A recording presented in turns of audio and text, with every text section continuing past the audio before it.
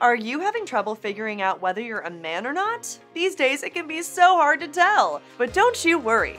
These signs will help you determine whether you're an adult human male. First on the list, you pretend to enjoy cigars. Fact, cigars are gross. They smell bad, and they make you smell bad. But men are supposed to smell bad, so if you pretend to like cigars despite your upset stomach and splitting headache, then you're probably a man.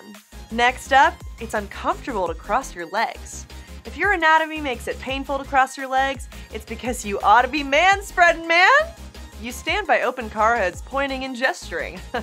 Look, everybody knows you have no idea what you're doing, but if you insist on gazing at all the doohickeys and thingamabobbers under the car hood, it's because you're a man. Oh, here's a fun one. You can effortlessly win at every women's sport. If you dominate women's sports because you're physically larger and stronger than all your opponents, it's probably because you shouldn't be playing women's sports in the first place, you big strapping man, you. Stop! You can think about absolutely nothing for long periods of time. Men are capable of thinking of literally nothing for minutes, hours, or even days at a time. Women, on the other hand, cannot. We're always thinking about something. And it's probably something you did. You're incapable of finding the milk in the fridge even while staring directly at it. It's right there, directly in front of your face. How do you not see it, man? You refer to a team of professional athletes who have no idea who you are as we. If you complain about preferred pronouns like Z, Zer, and Zim, but say we to describe the Tampa Bay Buccaneers, you're definitely a he, him. Here's another.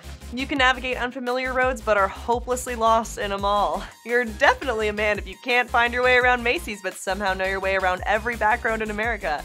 And by know your way around, I mean refuse to turn on the GPS or ask for directions. You pause Lord of the Rings 800 times to provide commentary. I assure you, Women don't want all the explanations. We just want to know who that one guy is, where they're going, why they're going there, and what just happened, and when we can open our eyes after the spiders are gone. You know you're a man if you would be completely and utterly helpless without your spouse. If you can't do laundry, can't fold laundry, can't do dishes, can't put away the dishes, can't operate the dishwasher, can't cook, can't vacuum, can't do the taxes, can't clean, can't sew, and can't find the TV remote, congratulations, you're a competent, capable man but at least you can fix the car. And finally, you are a man if you have XY chromosomes. This is it. The ultimate way to tell whether you're a man is your chromosomes. Here's an easy way to remember it. One X, one Y, you are a guy. You can be certain that you belong in the ranks of real men, like Genghis Khan, Napoleon Bonaparte, and Admiral Rachel Levine. Well, I hope that clears it up. If you think of any other ways to tell you're a man, have a ball in the comments section below. Toodles!